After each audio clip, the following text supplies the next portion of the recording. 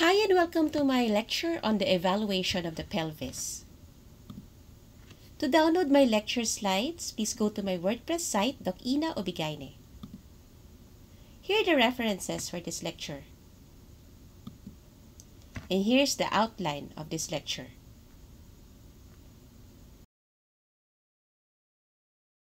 So we have three main uh, parts of the bony pelvis. We have the ilium, the ischium, and the pubis.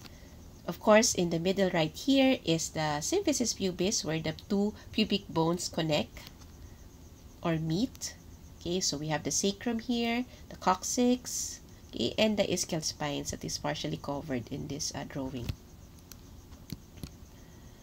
All right, so uh, when we talk about uh, the pelvis in uh, obstetrics, no, we talk about the false or greater pelvis and the true or lesser pelvis. Now, what is the demarcation between these two? It is the linea terminalis. Okay, so anything above the linea terminalis is the false or the greater pelvis. And here are the borders. Okay, so posteriorly, the border of the false or greater pelvis is the lumbar vertebra. Okay, so laterally, the borders are the iliac fossae. And at the front, the border would include the lower anterior abdominal wall. Okay, so anything below the linea terminalis is what we are really concerned of no, in obstetrics. And this is what we call the true or the lesser pelvis. Okay, so the, here are the borders of the true or lesser pelvis. So superiorly, of course, is the linea terminalis. Posteriorly, it's the promontory here and the alae of the sacrum. Anteriorly is the upper margin of the pubic bones, ascending superior rami of the ischial bones and the obturator foramina. Inferiorly, of course, it's the pelvic outlet, and laterally, the inner surface of the ischial bones and the sacrosciatic notches and ligaments. Okay, let's just reiterate the important uh, parts of the pelvis that is uh, very important clinically in obstetrics. Okay, so we have here the ilium, okay, so the pubic ramus, the ischial spines, okay, the sacrum, the sacral promontory, the coccyx, symphysis pubis, and not shown here will be the ischial tuberosity. Okay, so the pelvis is described as having four imaginary planes. However, in obstetrics, what will be clinically important would be only three planes, which is which are the inlet, outlet, and the mid-pelvis. Okay, so the fourth imaginary plane is the plane of greatest pelvic dimension, which has no obstetrical significance, and therefore we will just um, focus more on the three important or clinically important planes, which are again the inlet, outlet, and the mid-plane or mid-pelvis. Okay, so here are the um, three important planes. Okay, the uppermost plane will be the inlet, followed by the mid-plane, and then the lowermost plane will be the outlet. Okay, so let's first talk about the pelvic inlet. Now, this um, uh, plane forms the brim of the true pelvis okay? And it is also called the superior strait. The pelvic inlet is also the superior plane of the true pelvis. It has four diameters okay? So the ap diameter the transverse diameter and two oblique diameters okay? So under the ap diameter we have the three conjugates okay? The diagonal conjugate the obstetrical conjugate and the true or anatomic conjugate Okay, so the conjugate or the AP diameter runs from the symphysis pubis up to the sacral promontory. So let's first talk about the diagonal conjugate, which is this one. Okay, that's the line or the distance between the lower border of the symphysis pubis up to the sacral promontory. And this measures approximately 12 centimeters. So this is the only AP diameter, okay, or the only conjugate that can be measured clinically. Okay, so the obstetrical conjugate and the true conjugate cannot be measured. However, their measurements can be indirectly uh, assessed or estimated using the diagonal conjugate, and I will show you that later. Now, how do we clinically measure the diagonal conjugate? So this is how we do it. Okay, so with your examining hand, no, two fingers of your examining hand will be inserted into the vagina and then reach for the sacral promontory. And then note where the inferior border of the symphysis pubis touches the base of your finger. Alright, so the distance between the uh, tip of the middle finger up to where the inferior border of the symphysis pubis touches the base of your finger is what we call the diagonal conjugate that is measured in centimeters. Okay, take note. It is measured in centimeters, not in inches. All right. Okay, so next will be the true or anatomic conjugate, and this will be the distance between the upper margin of the symphysis pubis up to the sacral promontory, and this usually measures around 11 centimeters. Now, how do we approximate the measurement of this conjugate. Okay, again, no, we derive it from the diagonal conjugate by subtracting 1.2 centimeters from the diagonal conjugate. So the last conjugate will be the obstetric conjugate and this runs from the midpoint of the symphysis pubis okay, up to the sacral promontory. This clinically important obstetrical conjugate is the shortest distance or the shortest AP diameter no? connecting the sacral promontory in the symphysis pubis. And this is um, approximately around 10 centimeters. Okay, so how do we uh, estimate this uh, conjugate? We measure this indirectly by subtracting 1.5 to 2 centimeters from the diagonal conjugate.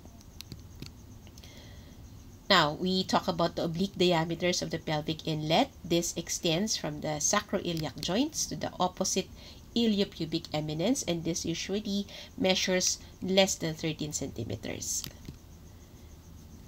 Okay, the transverse diameter of the pelvic inlet is constructed at right angles to the obstetrical conjugate. So this is the transverse diameter which is at right angles to the obstetrical conjugate and this represents the greatest distance between the linea terminalis on either side of the pelvic inlet.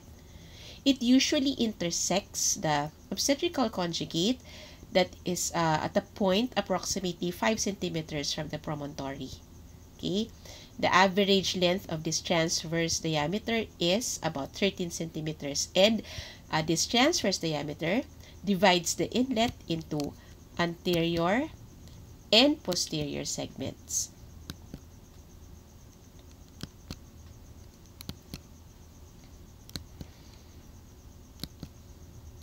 Now, the plane of the greatest pelvic diameter corresponds to the roomiest plane of the pelvis, the borders of which will include posteriorly the third to the fourth sacral vertebrae, laterally the ischial bones, and anteriorly the middle surface of the symphysis pubis, and its AP diameter and transverse diameters uh, average 12.5 centimeters. The next uh, plane is the mid-pelvis or another term would be mid-plane. And this is measured at the level of the ischial spines, which is this one. Okay, this is also called the plane of least pelvic dimensions. Okay, because this is the narrowest portion of the pelvic cavity. Now, during labor, the degree of fetal head descent into the true pelvis may be described by fetal station. No? So the mid pelv and the mid pelvis and ischial spines serve to mark zero uh, station. In other words, the when the biparietal diameter of the fetal head uh, is at the level of the ischial spines or at the level uh, touches the interspinous diameter, that would mean that the fetal head is at station 0. Okay, so the AP diameter through the level of the ischial spines normally measures at uh, at least 11.5 centimeters. The mid-pelvis extends from the lower margin of the symphysis pubis through the level of the ischial spines up to the tip of the sacrum. Okay, so again, as I've already mentioned, the transverse diameter is this one, no? The distance between the two ischial spines or what we call the interspinous diameter. So the interspinous diameter, again, represents uh, station 0. Okay, the level of the ischial spines represents station 0.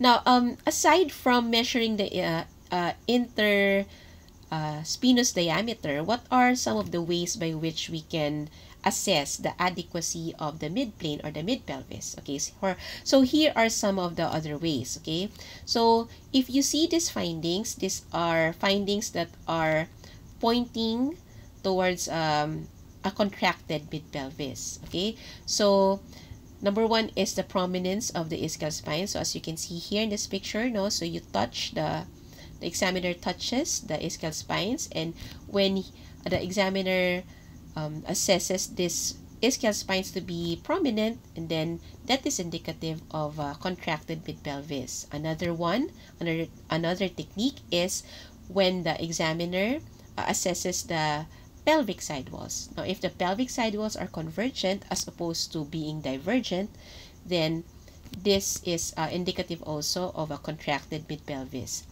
Okay, another is assessing the concavity of the sacrum, this one, no? So if the concavity of the sacrum is shallow, then that is also again indicative of a contracted mid-pelvis. The third um, plane is the pelvic outlet. Okay, so the outlet is bounded anteriorly by the pubic arch, okay, laterally by the ischiopubic rami, ischial tuberosity and sacrotuberous ligament, and then posteriorly by the tip of the coccyx. So a while ago when we talked about the midplane, no, we mentioned the interspinous diameter. Okay, so here in the pelvic outlet, we now uh, involve the intertuberous diameter. Okay, so the intertuberous diameter or the distance between the two ischial tuberosities will be uh, approximately 11 centimeters.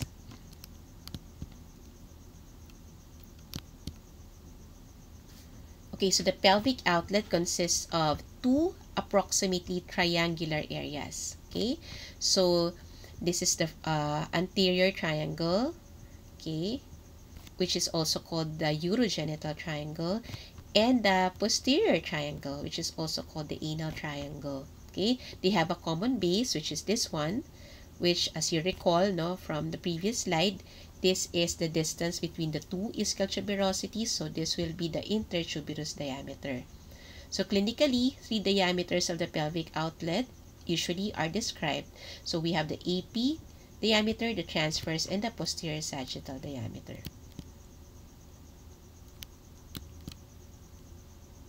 So we put the closed fist against the ischial tuberosities. No?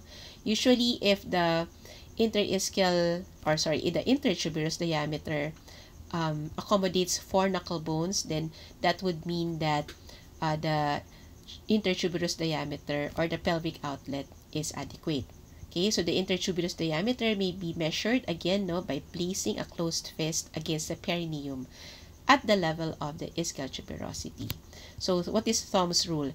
Thom's rule is when the transverse diameter plus the posterior sagittal diameter is more than 15 centimeters.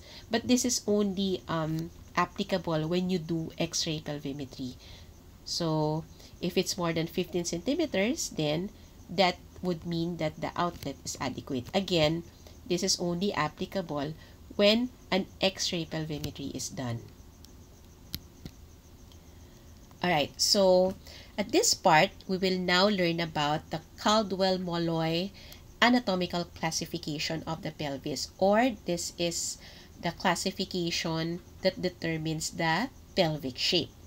Okay, so these concepts uh, aid in the understanding of labor mechanisms. Now, this can explain to us why some patients or some women are able to deliver vaginally, while some women uh, experience dystocia and therefore deliver their babies by cesarean section. So basically, we have four types of pelvic shapes. We have the gynecoid, the android, the anthropoid, and platypuloid. Some books would say that the two main shapes would be gynecoid and android, and then the uh, two intermediate uh, pelvic shapes would be anthropoid and platypuloid.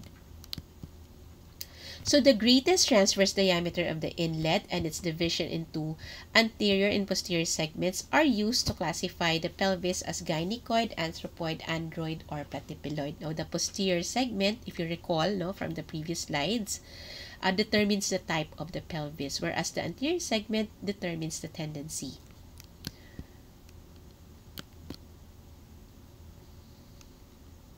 Okay, so again, this is a very uh, nice uh, summary of the characteristics of each uh, pelvic shape. So we have here the gynecoid. So this is no, from the word uh, gyne or the root word gyne. This is the most common type of female pelvis. Okay, and this is the shape that is the most ideal for childbearing. You can see here a well-rounded anterior, lateral, and posterior segments. Next is we have an android pelvic shape. So from the word android, no, you will derive that this is a male, uh, a male uh, shaped pelvis. No, it is um, a heart-shaped pelvis, as you can see here, heart-shaped it has increased incidence of posterior fetal position. Okay, so in, in this uh, type of uh, pelvic shape, you have a contracted midplane and a contracted outlet, which again no, increases the chances for the uh, mother to undergo cesarean uh, section delivery.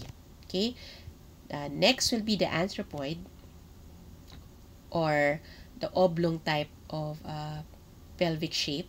Okay? So this is oval or oblong shape. And you can see here that the AP diameter is greater than the transverse diameter as opposed to the platypeloid okay? The platypeloid has a transverse diameter that's longer than the AP diameter. And this is actually a rare shape of uh, pelvis. And when you see the shape this is not really conducive to vaginal delivery Okay, so for the last part of this lecture, we talk about the soft parts of the pelvis.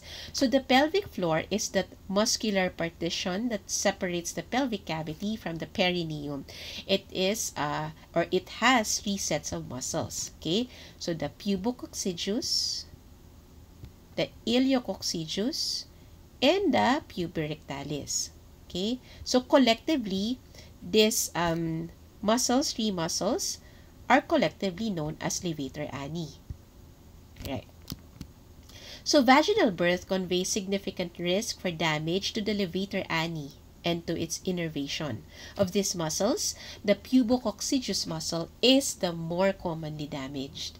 Okay, evidence supports that these injuries may predispose women to greater risk of pelvic organ prolapse or urinary incontinence. So you can just imagine those multigravids or the grand multigravids why uh, they are very prone to pelvic organ prolapse because of you know, repeated vaginal births may induce uh, or will uh, will induce significant uh, damage into these uh, muscles of the levator ani.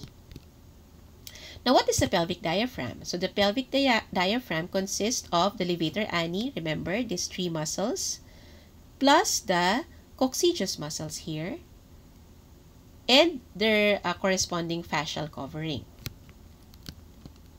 So the pelvic diaphragm has two parts. Remember, in we already discussed this in the pelvic outlet. So the pelvic diaphragm, like the outlet, is uh, composed of two parts.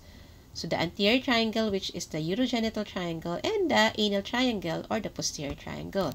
The urogenital triangle, as you can see here, comprises the vagina and the urethra, while the anal triangle comprises the anal opening.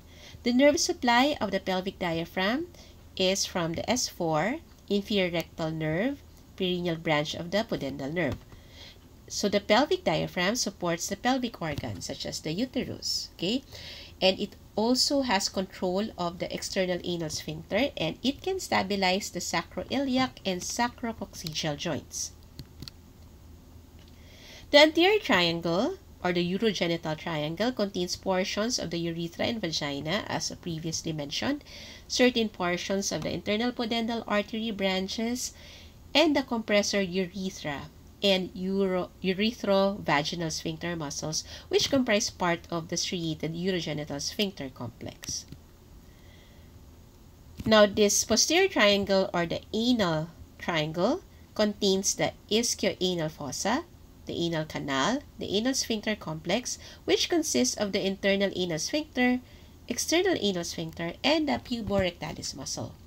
Branches of the pudendal nerve and internal pudendal vessels are also found within this triangle.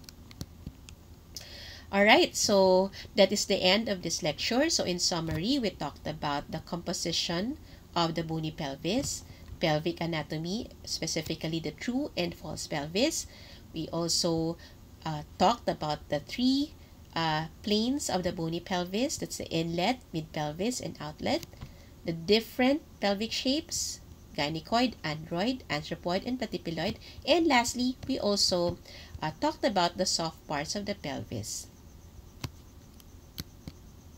So that's it for my lecture. Thank you for watching.